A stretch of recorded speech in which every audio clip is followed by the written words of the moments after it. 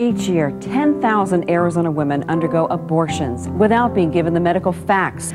Polls show that 88% of Americans favor informed consent disclosure. Governor, I'm asking you to please, please give us information. On behalf of all the women who have suffered, I would just beg you to not veto this bill. Women have the right to know.